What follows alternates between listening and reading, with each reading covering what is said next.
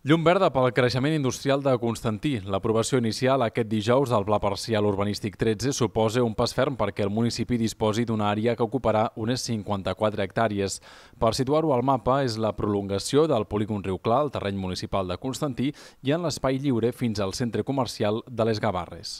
Un pla parcial urbanístic que és molt important, pensa que serà la meitat aproximadament del que és l'àmbit de la sal de, del Port de Tarragona que això un municipi de 6.800 habitants eh, tiri endavant un pla parcial d'aquesta magnitud, doncs crec que és un èxit eh, total i, i rotund. No?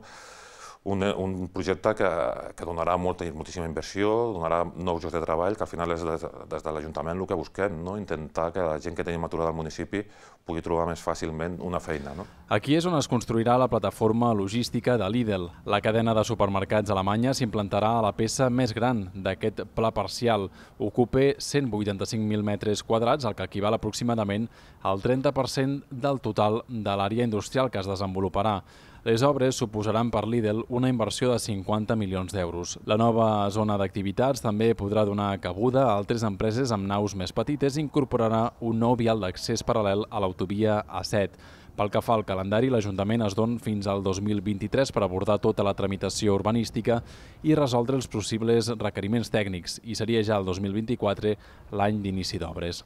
A finals del 2025 o principis del 2026, la nova àrea estaria enllestida per acollir les primeres activitats econòmiques.